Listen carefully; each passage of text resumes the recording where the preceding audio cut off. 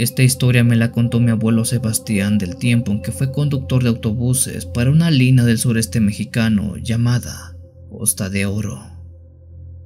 Por allá de los años noventas, mi abuelo tenía asignado una ruta de viaje que salía de la Ciudad de México con dirección al estado de Guerrero. Aquella salida la hacía a las 8 de la noche, saliendo de la central camionera de México, y duraba cerca de 7 horas hasta llegar a su destino. En una ocasión él iba a bordo de su unidad haciendo este recorrido, cuando ya estando a principio del estado de Guerrero, en una parte muy incomunicada y solitaria, el autobús empezó a tener fallos mecánicos y se apagó, dejando parados a él como a los pasajeros.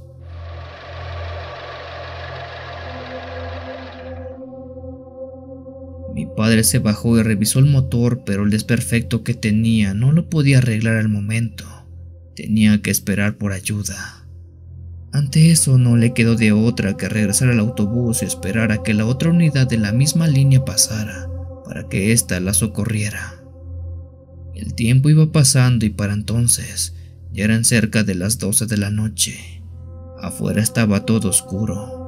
Incluso se oscureció más cuando mi padre apagó el autobús por completo y las pocas luces que éste tenía se apagaron también. Mientras esperaba dentro del autobús, él, al igual que varios pasajeros, escucharon la risa de unos niños. Aquello fue raro porque cerca no había señales de casas, pero las risas eran muy sonoras mi padre tomó una linterna que tenía al alcance y desde dentro del autobús iluminó hacia el exterior. Dice que casi al lado del camino, donde estaba el autobús parado, vio a tres niños jugando. Se trataban de tres infantes, todos vestidos con ropa de manta de color blanco, que corrían y daban vueltas de un lado a otro. Mi padre se preguntó quiénes serían esos niños y de dónde habrían salido. Ante la duda estaba por bajarse del autobús para preguntarles, pero en ese momento uno de los pasajeros lo sujetó del brazo y le dijo que no lo hiciera, que esos niños de afuera no eran niños como tal. ¿Acaso no se le hace raro que haya niños jugando en medio del campo a esta hora? Aquella pregunta, por más simple que fuera, era cierta. Eso tenía toda la pinta de ser algo malo. Mi padre desistió de la idea de bajar, pero aún así siguió iluminando a esos niños desde adentro del autobús. Varios de los pasajeros, al igual que él, veían a esos niños jugar y se les enchinaba la piel del susto. No está del todo seguro, pero dice que esos niños estuvieron jugando cerca de 30 minutos al lado del autobús. En ningún momento hicieron algo por entrar al camión o por interactuar con los pasajeros. Solo jugaban como si nada en medio de la noche de ese desolado lugar. Al paso de un poco más de tiempo, una luz empezó a iluminar a esos niños, quienes al verla corrieron hacia el interior del campo, perdiéndose en la oscuridad. Aquella luz era la luz de otro autobús. Este segundo autobús se paró al lado del autobús descompuesto y los auxilió para poder salir de ese problema. Mi padre le contó al otro chofer sobre los tres niños de manta que vio, siendo que este chofer le dijera que en esa parte donde estaban era muy conocida porque suceden muchos accidentes debido a cosas que se ven en la carretera. Niños, ancianos, animales que se atraviesan en plena carretera y al intentar esquivarlos terminan accidentándose. Así que si vio tres niños jugando, era muy posible que había visto aquellas almas que penan en esa carretera.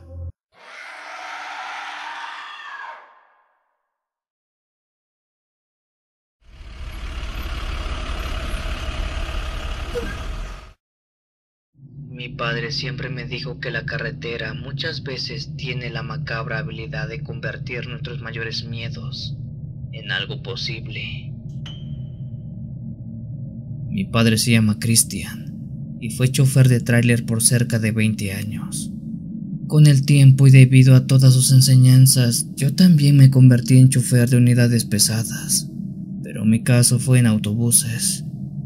Actualmente tengo 36 años y lo que te cuento me sucedió hace cuatro años atrás. En ese entonces trabajaba para una línea de autobuses poco conocida en el norte del país. La línea, al ser de bajo costo, no sea viajes directos, sino sea paradas en diferentes pueblos que vamos encontrando en el trayecto.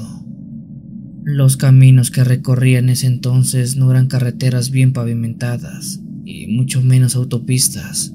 Los caminos en muchas ocasiones eran de terracería, ya que la línea de autobuses comunicaba principalmente pueblo de la zona de Sonora. Mi historia en concreto ocurrió una noche cuando estaba haciendo un viaje de regreso de la ciudad de Sonora. Esa noche en particular no había mucho pasaje, porque no eran fechas importantes, siendo que el autobús iba un total de cinco o seis pasajeros únicamente. El camino que recorría estaba en medio del campo abierto, casi no hay árboles, todo era una planicie solitaria y algo desértica ya que es el clima que más predomina por esta región. Para la hora eran cerca de las nueve de la noche y estaba dándome prisa porque faltaba una hora antes de que llegara al destino final. Iba muy tranquilo manejando cuando en un paradero que estaba a las orillas de un pueblo vi que estaba un hombre esperando aquel autobús. Desde lejos vi como el foco de ese paradero, que estaba solitario en medio de la planicie, alumbró a ese hombre que tenía algo en la mano. Conforme me fue acercando vi que lo que tenía en la mano era un muñeco de madera, algo así como un títere, o más bien, un muñeco ventríloco de madera, pero que era de tamaño natural, casi de la misma altura que el hombre. Algo importante a destacar era que ese hombre vestía con un pantalón de mezclilla, unos tenis blancos y una camisa a cuadros, mientras que el muñeco vestía con un traje o un smoking de color negro. Ni siquiera había llegado hasta el paradero cuando sentí un miedo muy agudo. La razón de eso era porque los muñecos nunca me han gustado, en especial muñecos como títeres, siempre me han dado mucho terror. Al llegar al paradero abrí la puerta y aquel hombre subió lentamente cargando aquel muñeco ventríloco. Cada paso lo hacía lento porque el tamaño de esa cosa lo hacía algo difícil. No quise prender la luz del autobús porque si lo hacía, quizás vería la cara de madera de ese muñeco y eso me daría mucho terror. El hombre pagó el pasaje y después caminó un par de lugares atrás para sentarse. Al no ver más pasajes cerré la puerta y reanudé mi marcha, pero aún sentí algo de miedo por aquel muñeco que llevaba arriba. Al paso de 30 minutos ningún pasajero bajó. Muy a lo lejos ya se veían algunas luces del próximo pueblo. Ya faltaba menos para llegar a casa. En ese momento escuché la voz de aquel hombre que subió con el muñeco, quien dijo que bajaba metros más adelante pero adelante no había ningún paradero. El hombre dijo que no importaba, que ahí bajaba él. Le dije que esperara un poco, que buscara un lugar adecuado. Justo al frente había una planicie y fue ahí que me paré para que el señor con el muñeco bajara. Abrí la puerta y casi al instante empecé a escuchar el ruido de pasos muy pesados que caminaban por el corredor del autobús. Los pasos eran lentos, torpes. Yo no prendí la luz del interior del autobús por el mismo motivo de la vez anterior. No quería ver aquel muñeco. A mi lado pasó el hombre y poco a poco fue descendiendo del autobús. Pero cuando lo hizo, cuando bajó por completo de él y las luces de afuera del autobús lo iluminaron, casi me da un infarto. La persona que bajó fue una que iba vestida con un traje de color negro, mientras que en su mano llevaba aquel muñeco, pero ahora el muñeco estaba vestido con un pantalón de mezclilla, tenis blancos y una camisa a cuadros. Aquel hombre volteó a verme, y al verle la cara, esta tenía cara de madera. Era como si el hombre y el muñeco hubieran cambiado de posición. Ahora era el muñeco quien cargaba al hombre como si fuera un títere. Yo les juro que eso fue lo que vi, y cómo ellos dos cambiaron de posición. Al ver aquello cerré la puerta y me di un par de cachetadas en la cara para ver que no fuera un sueño. A día de hoy sigo sin poder asimilar lo que vi en la noche, pero la pregunta que nunca me había hecho es, ¿qué hacía un hombre con un muñeco ventríloco del tamaño natural en esa solitaria parada de autobuses? Creo que mi padre tenía razón. A veces la carretera te envía tus mayores miedos en forma de sustos.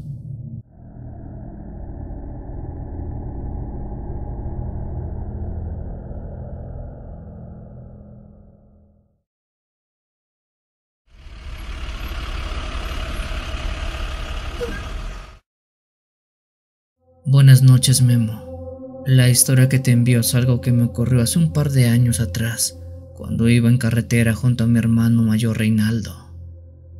Nosotros somos de Hermosillo, Sonora, en México, y casi nunca salimos de noche por cuestiones de seguridad, pues toda esta parte suele ser algo complicado. Pero hace dos años atrás, como a de las nueve de la noche, nos avisaron que un familiar estaba delicado de salud había sufrido un accidente, así que teníamos que trasladarnos en ese momento hasta la ciudad de Obregón.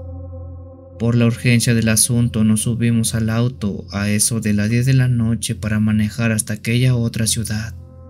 Mi hermano tomó el volante y ante la necesidad de llegar lo antes posible, pisó el acelerador a fondo. Así recorrimos gran parte del trayecto, pero, para nuestra desgracia, un poco más adelante, nos topamos justo detrás de un autobús de pasajeros.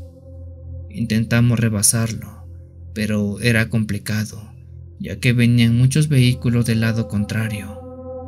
Ante el riesgo de un accidente, le dije a mi hermano que no se desesperara y que manejara con calma.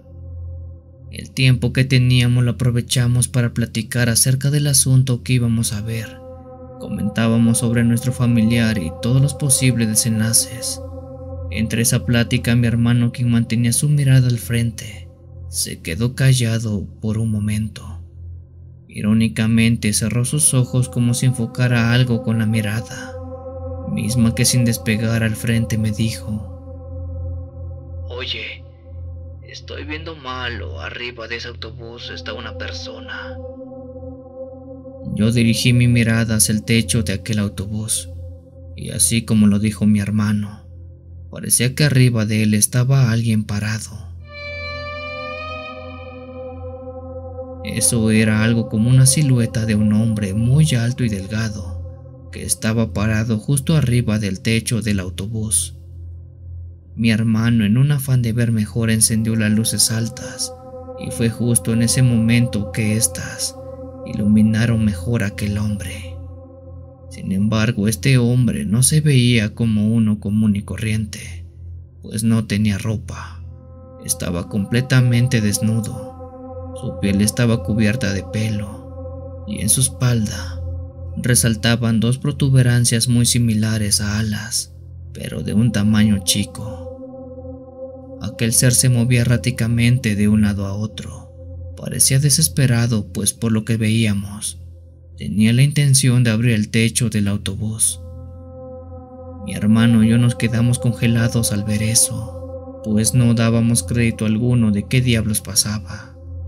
Nuestra primera reacción fue preguntarnos si acaso los pasajeros de dentro del autobús estaban al pendiente de que algo quería meterse a su unidad. Con la mirada clavada sobre aquel ser, nos quedamos enviciados Incluso mi hermano se salió un par de veces de su carril. De pronto eso, esa cosa que estaba arriba vio hacia nosotros. Clavó su mirada seca y fría en nuestro auto. Rápido le dije a mi hermano que apagara las luces altas, y así lo hizo. Incluso nos detuvimos en seco para evitar que eso de arriba del autobús nos quisiera hacer algo. Con cuidado nos orillamos sobre un descanso y permanecimos parados por más de 20 minutos, dejando que el autobús avanzara con eso arriba. No estoy seguro de qué pudo ser lo que vimos, pero por este lado del país se sabe mucho de nahuales y brujas que habitan en todas las planicies de esta carretera. Y quizá lo que vimos fue una de esas cosas, o fue algo peor.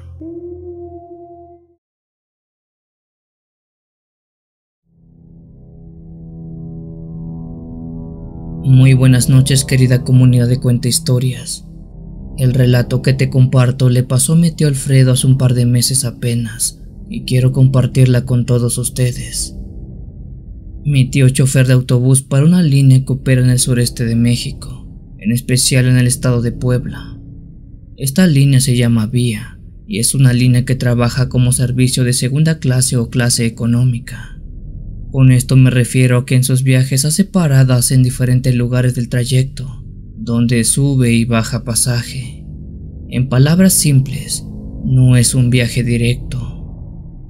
En todos sus años como chofer, mi tío ha visto un par de cosas poco explicables. Sin embargo, esta, dice él, es la única que no sabe exactamente qué fue lo que subió a su camión. Su relato en concreto sucedió hace dos meses atrás apenas. Cuenta que una noche venía manejando con dirección a la ciudad de Puebla. Eran cerca de las 8 de la noche cuando transitaba por la carretera que estaba poco transitada, ya que era un día entre semana y casi no viajaba gente.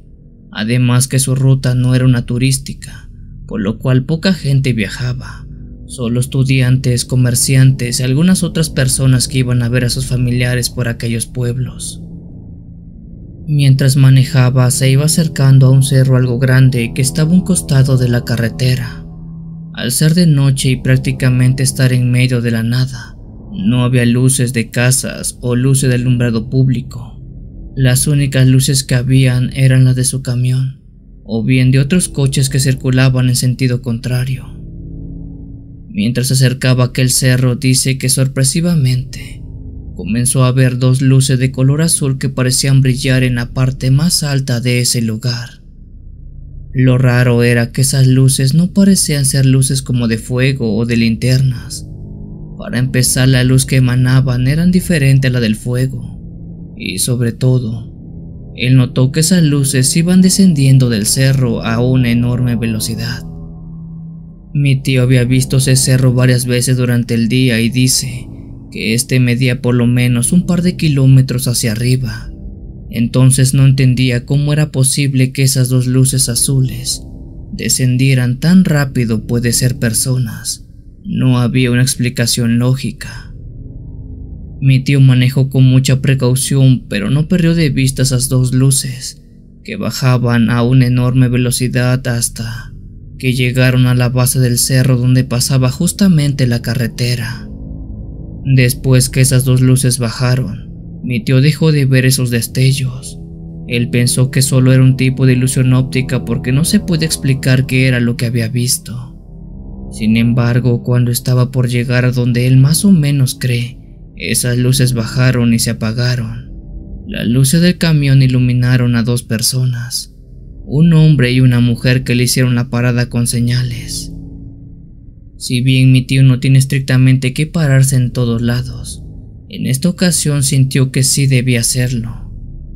Cuando paró el camión dejó que estas dos personas subieran, y al hacerlo, vio algo muy raro en los pasajeros, empezando con su vestimenta, ya que los dos tenían una clase de capucha como un gorro que les cubría parte de la cara, dejando ver muy poco su rostro. El primero en subir fue la mujer, que apenas si le pudo ver la cara.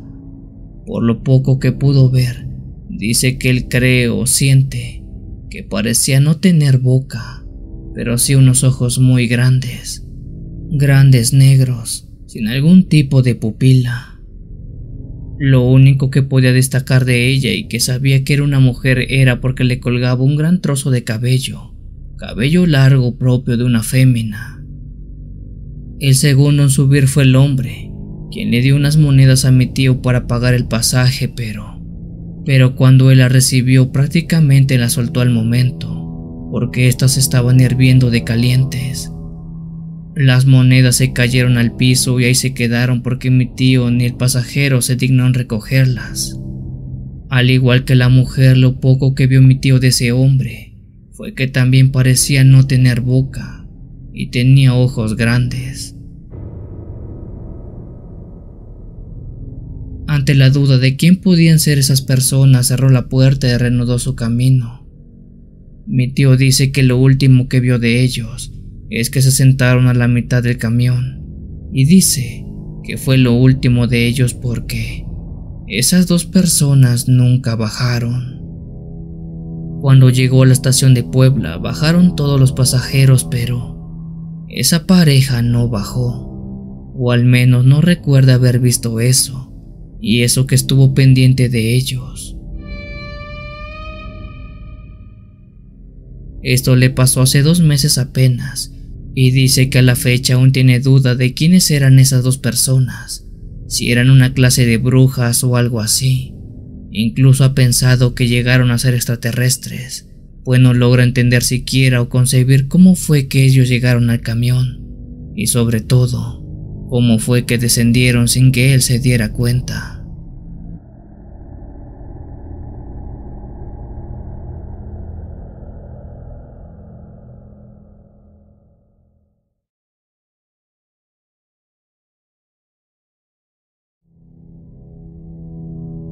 Por cuestiones de trabajo suelo viajar mucho entre estados.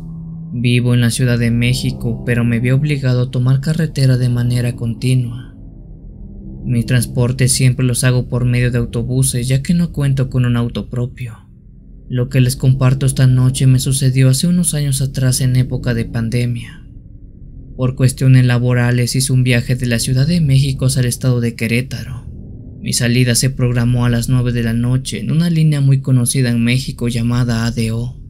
De hecho, esta línea es de primera clase y es bastante popular en la parte del sureste.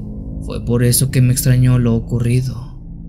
En ese entonces no se permitía viajar con el cupo completo de pasajeros, de hecho, era permitido uno por cada par de asientos, viajando de esta manera solo la mitad de la capacidad total del autobús. Cuando subí lo hice con todas las medidas de seguridad del momento, mascarilla, sanitización y gel antibacterial. Con estos protocolos me eché a abordar y me senté en mi asiento. Coloqué mis cosas y me preparé para el viaje. Casi al final recuerdo que una mujer fue la última en subir. Ella se trataba de una mujer mayor, una persona de la tercera edad que se sentó justo en el par de asientos junto al mío, pasando el angosto pasillo del camión. No le presté mucha atención ya que para mí fue como ver a cualquier pasajero del viaje, y a decir verdad no tenía nada especial. Era una señora de la tercera edad con una mascarilla a punto de hacer el mismo viaje que yo. El autobús arrancó y ante la poca gente de ese viaje, no se puso alguna película o algo así. Solo se apagaron las luces para después, o al menos en mi caso, tratar de dormir un poco. Con el movimiento tranquilo del autobús, poco a poco me fue arrollando hasta quedar dormido. Desconozco qué tiempo habré quedado dormido cuando abrí los ojos y al ver por la ventana del autobús ya todo estaba en completa oscuridad. Muy pero muy a lo lejos se veían pequeñas luces de casas o pueblos, pero era más que evidente que ya habíamos salido de la ciudad. La razón por la cual me desperté no fue porque el sueño se me fuera, sino fue porque empecé a escuchar el ruido de la mujer mayor tosiendo, pero la forma de toser no era una normal, era una extremadamente agresiva a tal grado que me empecé a asustar mucho debido a que quizás ella podría estar enferma. Traté de mantener la calma y de lejos solo estaba viéndola. La señora de repente se quitó el cubrebocas y empezó a toser más fuerte. De un momento a otro, ese ruido de tos se convirtió en una clase de vómito, pero sin arrojar nada. Solo era como si tuviera la intención de hacerlo. Cuando creí que no podía ser peor, o más raro ese suceso. Algo le pasó a esa mujer que me hizo llevarme las manos a la cara. Aquella mujer empezó a gritar. Se llevó las manos a su pecho y empezó a decir que se estaba quemando, que algo le estaba quemando por dentro. Ante esos gritos, un pasajero se paró y fue con la señora que se retorcía en su asiento de dolor. ¿Qué le ocurre? ¿Qué le pasa? ¿Qué le duele? Rápido, avisen al chofer que una mujer está muy grave. Dijo aquel pasajero. Yo me quedé paralizado del miedo solo viendo aquella escena horrible. El otro pasajero trató de ayudarla sujetando su pecho, pecho que ella decía le estaba quemando. Pero de un momento a otro, ella, la mujer mayor, se recostó en el par de asientos y como si estuviera hecha de madera o de algún material flameable, se empezó a consumir. No sé cómo describirlo. No se quemó o le salieron llamas. Nada de eso. Solo se fue deshaciendo como una hoja de papel que al quemarse va dejando puras cenizas. esa mujer mayor ante los ojos de varias personas que estaban presentes. Se quemó por dentro, o sabrá Dios cómo, pero al paso de un par de minutos ella solo quedó hecho cenizas. Y solo fue ella porque su ropa y calzado estaban intactos. Solo ella se quemó. El autobús quedó con un olor a quemado que obligó al chofer a pararse en una gasolinera, pero para cuando el chofer se detuvo, la mujer ya solo era cenizas. No importó cuántos testigos la policía preguntó, todos decíamos lo mismo. La señora se quemó hasta solo quedar cenizas.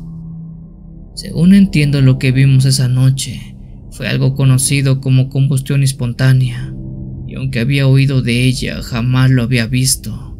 Y se los digo, es horrible presenciarlo.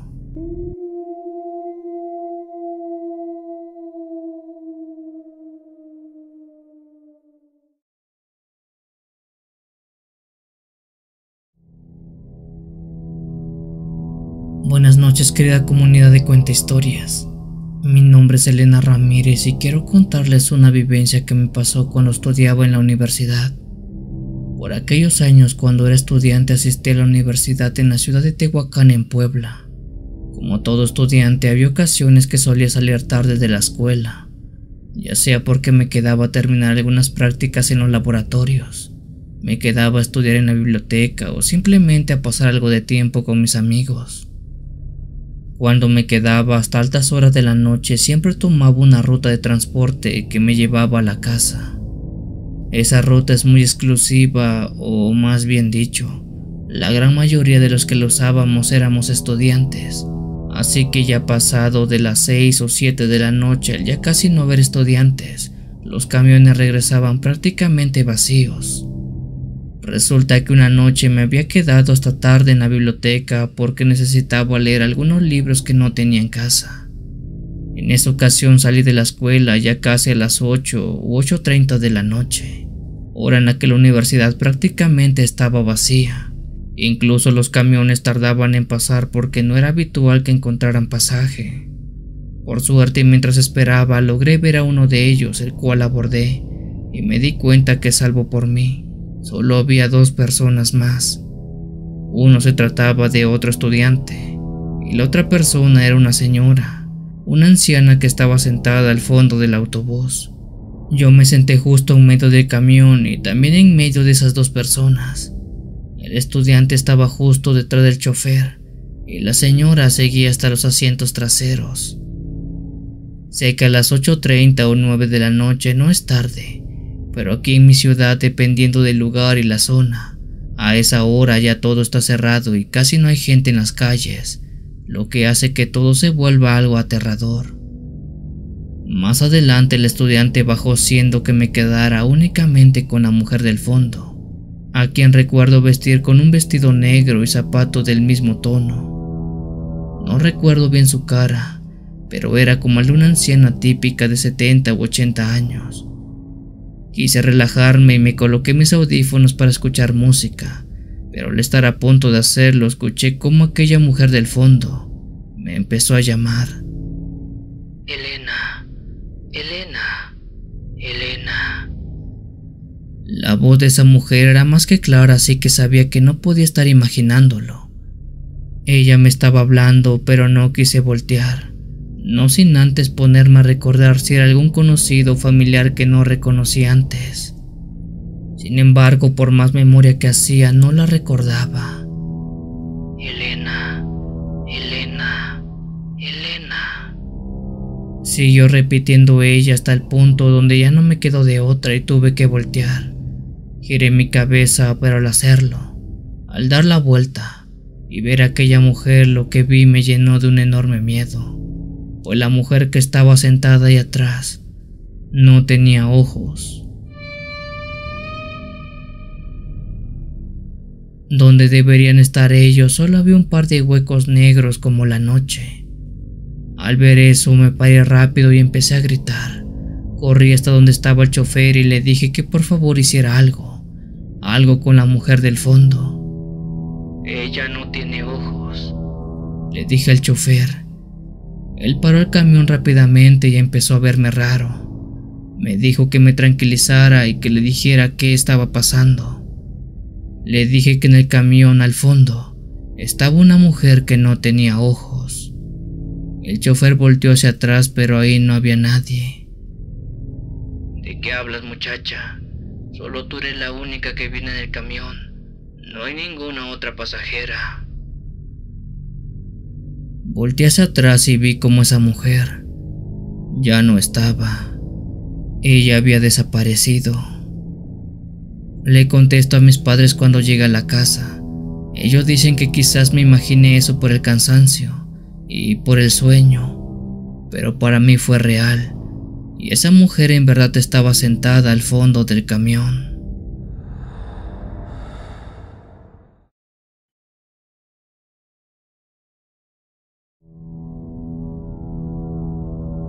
Yo solía viajar casi siempre por las noches en autobús cuando iba a visitar a mis padres.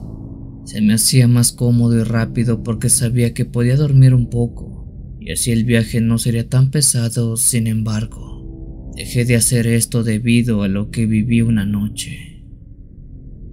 Recuerdo que había tomado el autobús en la estación Tapo en la Ciudad de México e iba con dirección a San Cristóbal de las Casas en Chiapas.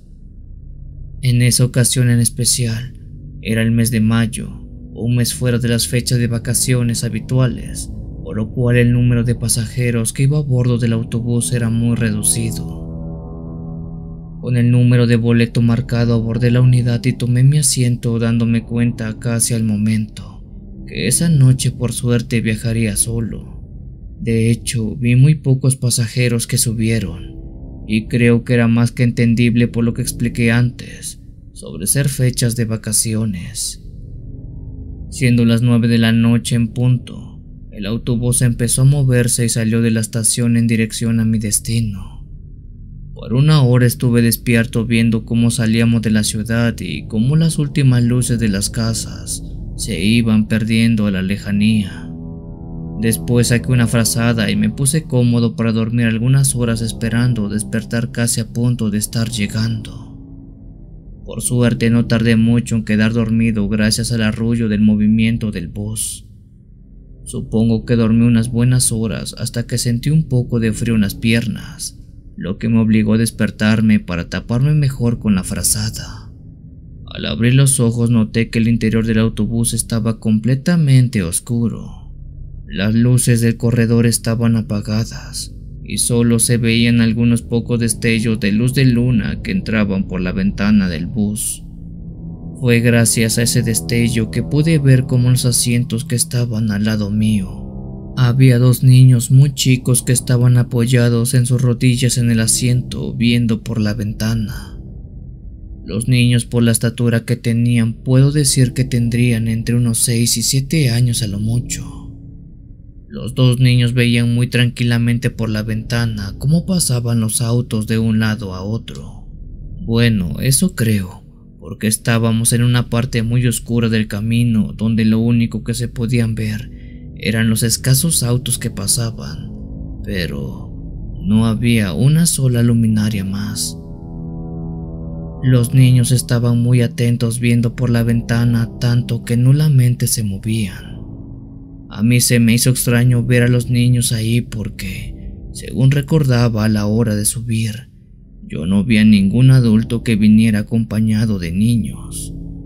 Aunque bueno, quizás no presté la suficiente atención a cada pasajero y dejé pasar ese dato.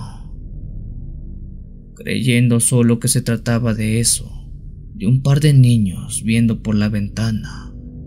Me tapé nuevamente y cerré los ojos para dormir. Justo hice eso cuando sentí como si alguien sujetara mis pies.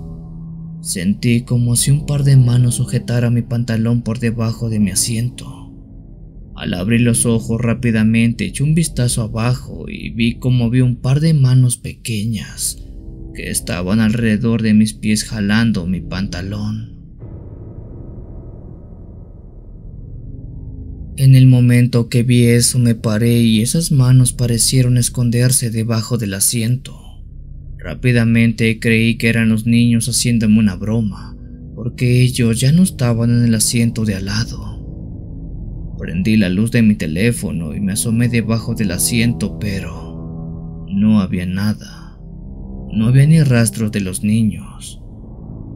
Enojado más que asustado regresé a mi asiento e intenté dormir nuevamente algo que por suerte logré hacer, pues esas manos y esos niños ya no me volvieron a molestar el resto del camino. Pasado las horas llegamos hasta nuestro destino, donde empezaron a descender cada uno de los pasajeros del bus. Pero antes de bajar le dije al chofer que nos trajo desde la Ciudad de México sobre el incidente de los niños, ya que no me parecía correcto que molestaran al resto de pasajeros. El chofer preguntó a qué me refería, a lo que yo le conté mi situación. El chofer guardó silencio un momento y dijo que en ese viaje había un total de 11 personas únicamente, pero ninguno de ellos era niño. El viaje se hizo de puros adultos, así que era imposible que hubiera visto a un niño, mucho menos a dos. Ya no dije nada y mejor bajé del autobús, porque si esa noche no viajaron niños, entonces a quienes vi, y sobre todo, quienes me jalaron los pies.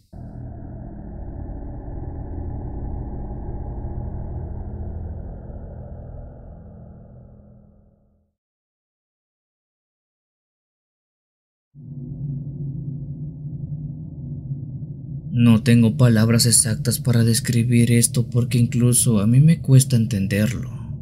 Mi padre decía que debemos trabajar lo suficiente para vivir bien, pero si trabajamos más de la cuenta, vivir es lo que nos va a faltar. Me llamo Rosario Cruz y vivo en un pueblo llamado Santa Julia en el estado de Puebla. Mi poblado es un lugar muy chico por tal motivo para ir a trabajar o ir a la escuela. La mayoría de las personas solemos ir a un pueblo que está a media hora del nuestro, que es mucho más grande para hacer nuestras actividades. Para transportarnos de mi pueblo a ese otro pueblo usamos el transporte público, en específico una línea de camiones locales llamada Flecha Dorada. En el tiempo en el que se remonta esta historia, yo era un estudiante que cursaba el bachillerato. El turno al cual acudí era el turno de la tarde, entrando a las 2 pm y saliendo a las 8 de la noche. Cuando salía tomaba el autobús y tras media hora de viaje me dejaba cerca de la casa. Una noche al salir de la escuela y siendo ya algo tarde, esperaba al bus a que pasara por la calle principal. De lejos vi cómo éste se acercaba para tomarlo y regresar a la casa. La unidad en cuestión a la que subí era la 33, que era manejado por el señor Ezequiel. Don Ezequiel era un hombre de unos 60 años, a quien conocía muy bien ya que el señor tenía más de 30 años manejando aquel autobús, el cual usaba todos los días. Si bien no le hablaba mucho, sí cruzábamos palabras con el señor, pero hasta ahí. Después de pagar mi pasaje me senté en la parte de atrás y dejé que todo avanzara. Esa noche todos aquellos que bajaban y subían eran caras conocidas, caras que podía reconocer fácilmente. El trayecto que duraba casi media hora nos llevaba por diferentes pueblos que pasábamos para llegar al mío que era el último de aquella ruta. El autobús estaba entrando a nuestro pueblo.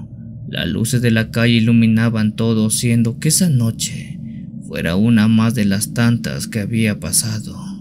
Pero me equivoqué. Esta fue diferente a todas aquellas.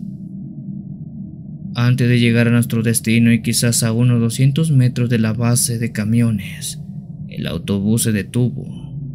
Don Ezequiel se paró. Se puso de pie justo a la mitad del pasillo a la altura de la entrada y después procedió a desplomarse al piso.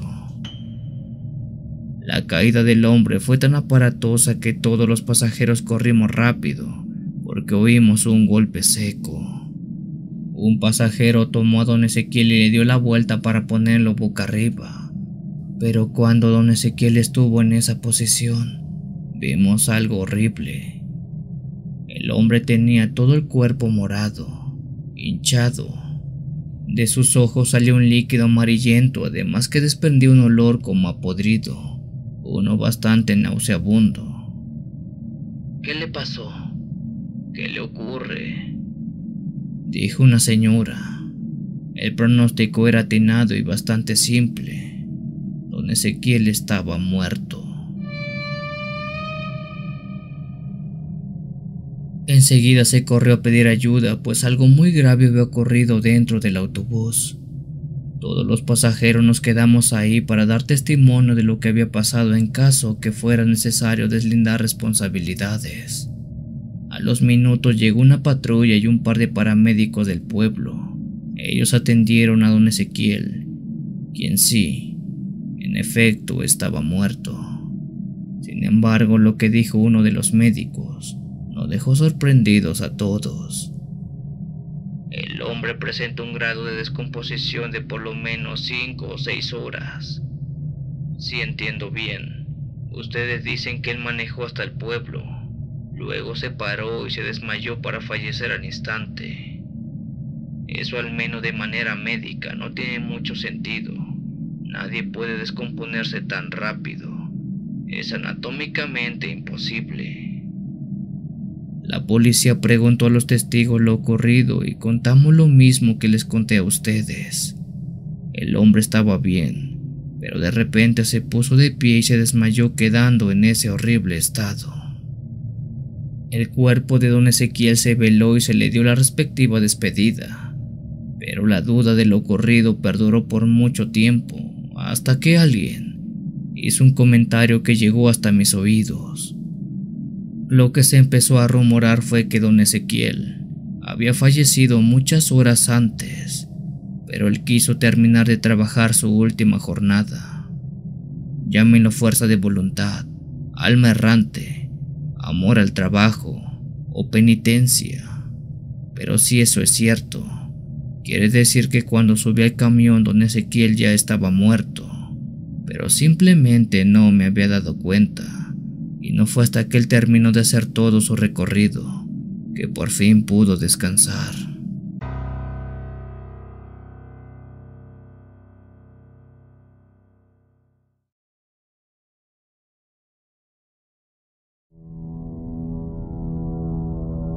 Buenas noches Memo, me llamo Patricio Negrera y soy chofer de autobús desde hace más de 15 años.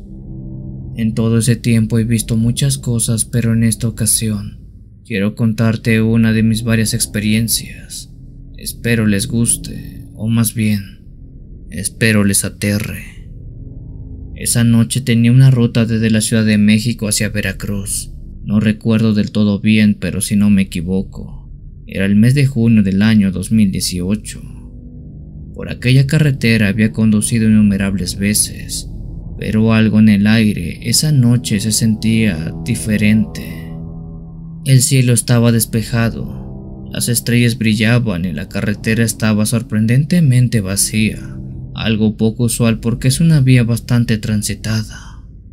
Era cerca de la medianoche cuando de repente un estruendo estremeció el aire. Era algo muy parecido al ruido de un trueno, pero al mirar hacia arriba, el cielo estaba despejado no había una sola nube. Sacudí la cabeza y me dije a mí mismo que debía estar imaginando cosas. Continué conduciendo manteniendo los ojos en la carretera, pero como a los cinco minutos después, el mismo ruido resonó de nuevo. En esta ocasión un poco más fuerte y más prolongado, como si se avecinara una tormenta. Incluso creí que el ruido habría despertado a algún pasajero, pero creo que no porque todos estaban en calma. Esta vez levanté la vista rápidamente y ahí estaba, unas luces muy brillantes destellando en el cielo. Al principio pensé que debía ser algún avión, pero algo no cuadraba porque las luces permanecían inmóviles, inertes, no se movían para nada. Aquello me sorprendió mucho, así que me concentré en ellas un momento y me di cuenta de que no, no era una sola luz, sino varias. Era una cadena de luces que por alguna razón formaban un cilindro metálico que colgaba en el aire. Las luces que en un principio eran de color verde pasaron a ser una combinación de luces que iba de verde a azul, amarillo y luego rojo, en un patrón bastante hipnotizante. Volví la mirada al camino, temeroso de causar un accidente, pero no podía evitar seguir mirando aquellas luces en el cielo. ¿Qué era eso? ¿Es acaso un avión militar? ¿O es una ilusión? Las preguntas me saltaban por todas partes, pero no tenía respuesta. Los minutos pasaban y mis nervios acrecentaban. A eso debemos sumarle que seguía escuchando aquel estruendo muy a lo lejos. Los minutos pasaron y finalmente al escuchar el último de aquellos estruendos, el último de aquellos rayos, levanté la vista y el objeto había desaparecido. Ese cilindro que estaba a plena vista había desaparecido sin dejar rastro alguno. El cielo estaba vacío, como si nunca hubiera estado ahí. Un frío recorrió mi espalda y apreté con fuerza el volante. No sabía qué era lo que había visto, pero una cosa era segura. Eso no era nada de este mundo. Conduje el resto del trayecto en un silencio incómodo, mirando constantemente por el espejo retrovisor y el cielo nocturno, esperando y temiendo que aquellas luces regresaran. Pero no lo hizo. Llegué a Veracruz con la sensación de que aquella noche algo o alguien me había estado observando desde el cielo. Desde entonces cada vez que tomo esa ruta de noche, no puedo evitar ver al cielo, esperando ver de nuevo aquellas luces que una vez iluminaron mi camino y llenaron mi corazón de miedo. Pero la fecha jamás las he vuelto a ver y ojalá nunca suceda.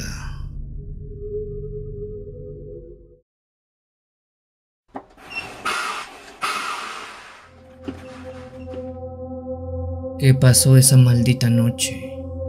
Eso no lo sé y muy en el fondo no quisiera saberlo nunca.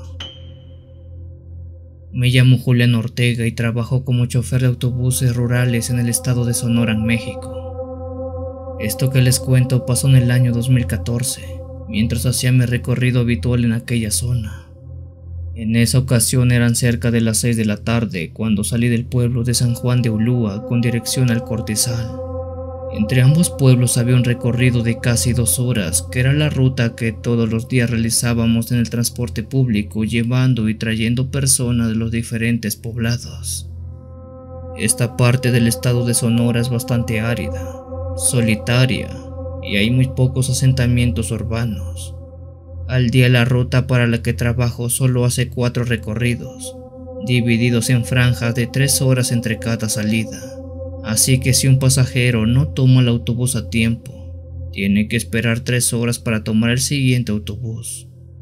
Esto no se hace porque lo queramos de esa manera, sino porque al no ver mucho pasaje es innecesario tener salidas continuas, si es que todas van a estar vacías. Mientras manejaba ya algo tarde la noche fue cayendo hasta casi llegar el ocaso. En el horizonte se veía como el sol se estaba ocultando y llegaba a la oscuridad de la noche. El camino que transitaba era de tierra, terracería como le decimos aquí.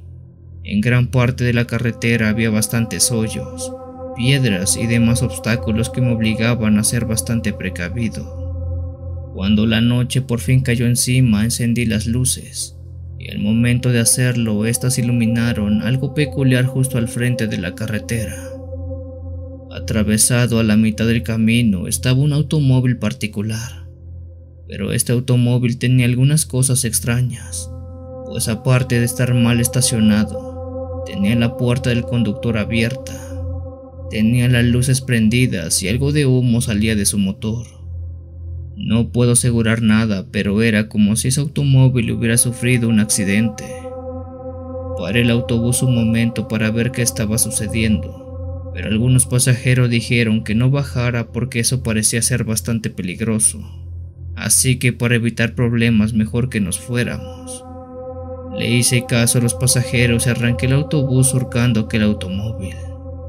Eché un vistazo dentro del automóvil, pero me di cuenta que este estaba vacío. No había nadie en el vehículo. De hecho, eché un vistazo a los alrededores, pero no había nadie cerca de aquel accidente. Era como si el conductor hubiera salido corriendo después de sufrir aquel percance. Consternados por lo que estábamos viendo, un mal presentimiento invadió el pecho de cada uno de los presentes. A la voz de un Ya vámonos. Tomé el volante del camión y conduje un poco más rápido. El autobús se mecía de un lado a otro mientras pasábamos por las piedras y baches de la carretera. Sin embargo, eso no me preocupaba mucho, ya que lo que más me importaba era llegar lo antes posible al último pueblo. A los minutos de estar manejando por aquella desolada carretera, empecé a escuchar un grito.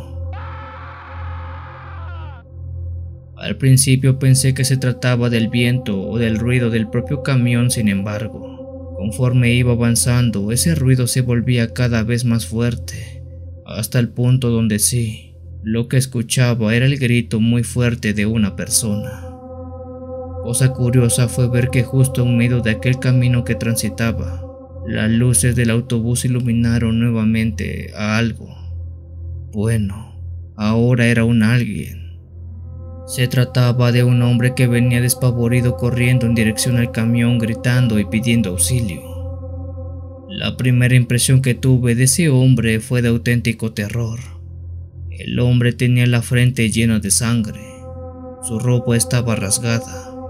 Solo tenía un zapato y gritaba casi al borde del llanto. Este hombre me asustó mucho, así que quise esquivarlo, pero no pude, pues él se atravesó justo en medio del camino, haciendo que frenara de golpe. Él corrió enseguida a la puerta del autobús y me pidió que la abriera. Golpeaba a la vez que imploraba la puerta para que se abriera y lo dejara entrar. Deja que suba. Escuché que dijeron los pasajeros. Así lo hice. Abrí la puerta y ni bien lo hice. Ese hombre completamente bañado en sangre me dijo que arrancara, que por favor no me detuviera. El tipo, aparte de verse mal físicamente, tenía una cara de horror difícil de describir. Un pasajero le preguntó qué diablo le había pasado. ¿Acaso él era el dueño del auto que estaba atrás mal estacionado? El hombre dijo que sí, que ese era su auto. ¿Qué te ocurre? Preguntaron varios pasajeros consternados por la situación que estábamos viviendo. El tipo tragó saliva y dijo que venía manejando cuando algo se le atravesó en el camino y lo impactó dejando a su auto inservible. ¿Qué atropellaste? preguntaron. El hombre empezó a llorar y dijo que no estaba seguro. Solo alcanzó a ver un hombre muy alto con alas como las de un murciélago, que estaba parado enfrente de su auto. Aquel hombre de las alas intentó atacarlo, pero él salió corriendo del auto tratando de escapar de aquella cosa. De seguro tu auto cayó en un bache y te golpeaste la cabeza, ya que estás alucinando todo eso. Mencionó un pasajero. Apenas había terminado de decir eso cuando el hombre accidentado apuntó su dedo hacia una planicie en la carretera. La luz de esa noche dejó ver la silueta de un hombre, uno sumamente alto que estaba ahí parado. Es él, dijo. Es aquello que se estrelló contra mi auto. Todos lo vimos. Todos fuimos testigos que ahí había alguien parado.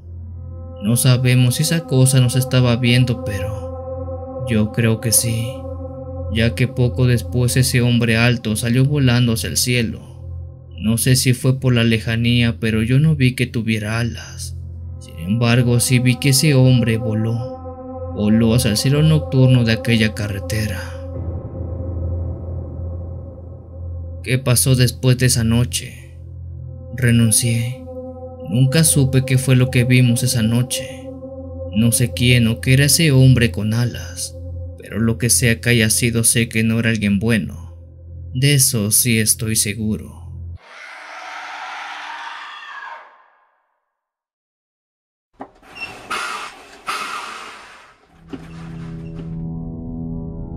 Trabajo como chofer de autobús colectivo en la provincia de Santa Fe, en Argentina. Esta provincia es principalmente agrícola, así que muchos de sus poblados son rurales y el principal medio de transporte es el uso del colectivo. La ruta en la que yo me desempeñaba abarcaba varios poblados de tamaño bastante pequeño. Los principales pasajeros que subieran estudiantes, obreros y amas de casa que iban de pueblo en pueblo haciendo su despensa. Esta ruta solía empezar sus labores a las 5 de la mañana y terminaba a las 10 de la noche hora en que pocos querían tener el último recorrido ya que era muy tarde y preferían estar descansando, sin embargo, esta última salida tenía que hacerse sí o sí ya que era la orden de la administración. Una noche de esas curiosas, a mí me tocó hacer este último recorrido precisamente.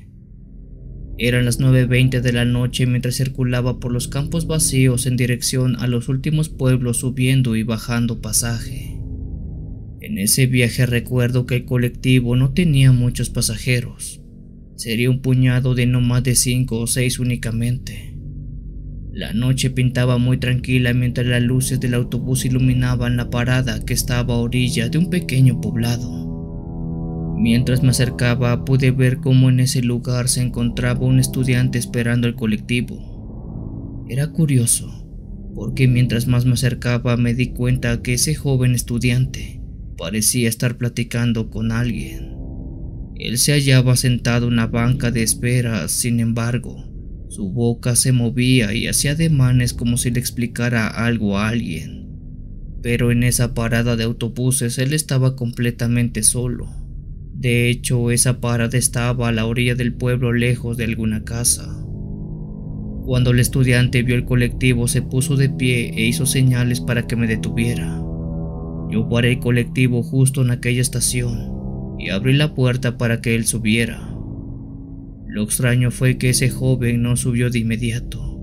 Él esperó cerca de 10 o 15 segundos parado justo en la entrada del colectivo. No estoy del todo seguro, pero era como si él estuviera esperando a que alguien más subiera delante de él. Menciono esto porque el joven estaba viendo cuidadosamente los escalones del bus era como si estuviera al pendiente de que quien subía no se fuera a caer. Poco después el joven subió y pagó su pasaje.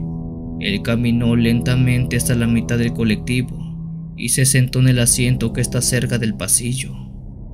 Por el espejo retrovisor no le quité la mirada a ese joven, porque su comportamiento se me hizo poco usual. No puedo decir si estaba bien o si estaba tomado o drogado aunque en ningún momento me llegó un olor de alguna de estas sustancias. Con calma manejé el resto de la ruta viendo cómo pasajeros bajaban y otros subían, aunque los que abordaban ya eran muy pocos, pues a lo lejos ya se veía la última estación del trayecto. Estábamos a 20 minutos antes de ingresar a aquel poblado, cuando el joven que subió antes se puso de pie y caminó hasta donde yo estaba con cara de susto y con una voz algo quebrada. Me preguntó dónde fue que bajó la señora de vestido negro. Con la cara extrañada le pregunté a qué se refería, pues yo no recordaba haber bajado a una mujer vestida así. El joven insistió diciendo que si no recordaba dónde era que bajó aquella señora que subió con él, esa misma que se hacía llamar Marta y que vestía con un vestido negro y tenía 66 años. Me le quedé viendo al joven y le reafirmé que yo no recordaba haber bajado a nadie con esas características, al menos no recientemente. Él dijo que eso era imposible, pues había subido justo hace tres estaciones atrás, así que yo tuve que haberla visto. Le respondí al joven que en esa estación solo lo vi subir a él. No recordaba haber visto que alguien más estuviera. Lo único que recordaba era que él estaba actuando bastante raro. Le mencioné que lo vi hablando con alguien, pero a su alrededor no había nadie más. El joven insistió en que no subió solo. Subió en compañía de aquella señora quien le pidió de favor le dijera dónde bajar pues iba a ver a su familiar y no conocía la región. Sin embargo, él se quedó dormido y al despertar la señora que se había sentado a su lado, ya no estaba. Cuando él me contó esto, sentí un frío en toda la espalda, un frío gélido y horrible. Paré el colectivo y vi al joven directamente a los ojos. Le dije que no se fuera a asustar, pero creo que esa noche él había estado hablando con un fantasma pues esa mujer nunca existió.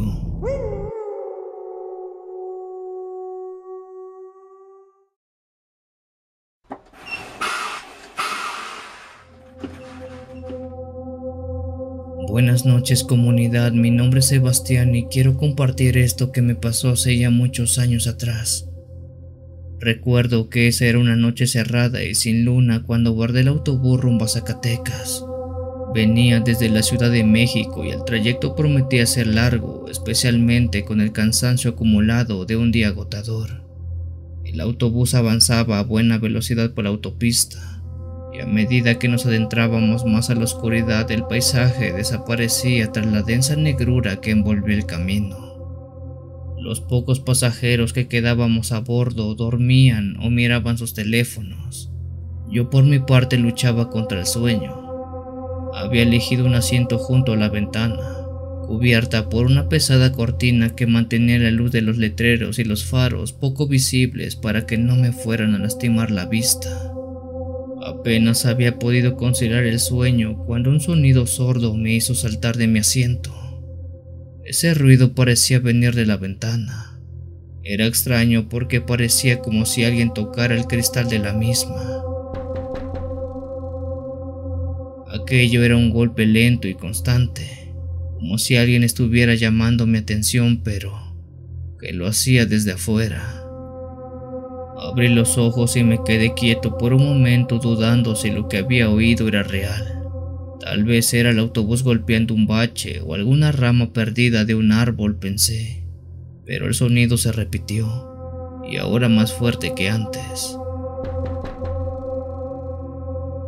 Mi corazón comenzó a latir con fuerza mientras apartaba lentamente la cortina para ver qué provocaba ese ruido. El frío del vidrio me atravesó la piel antes de que pudiera ver qué había detrás.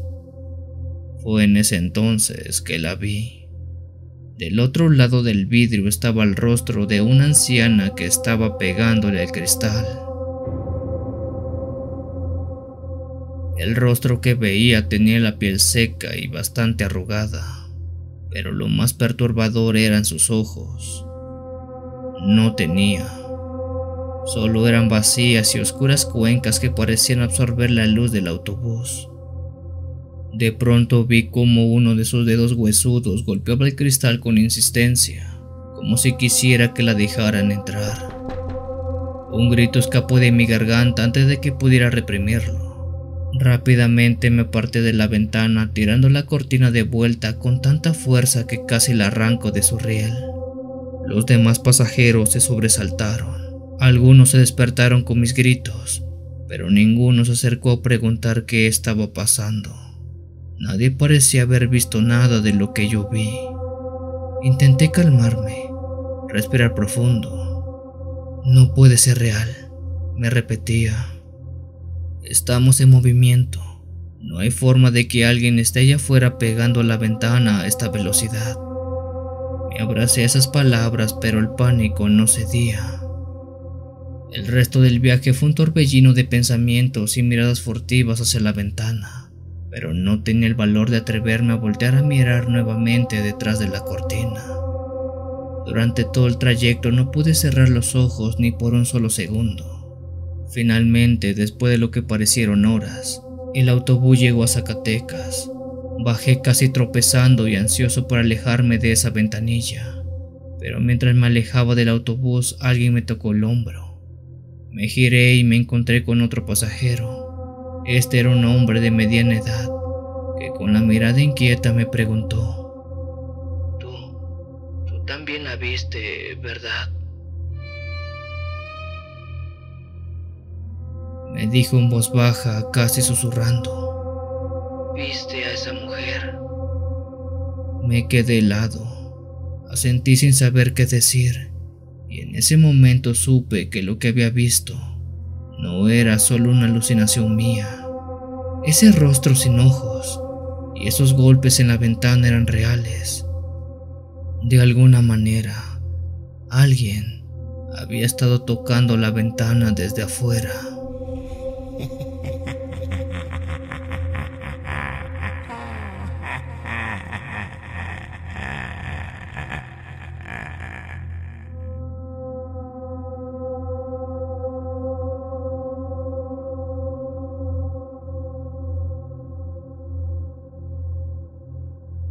Si tienes alguna historia que desees compartir con esta agradable comunidad, te invito a enviarla, ya sea por correo o la página de Facebook. Los links están en la descripción del video. Te agradecería actives todas las notificaciones para estar al día con los relatos que se suben a diario. Muchas gracias por dejarme llegar hasta tus oídos. Yo soy el Cuenta Historias. Te deseo una linda y oscura noche.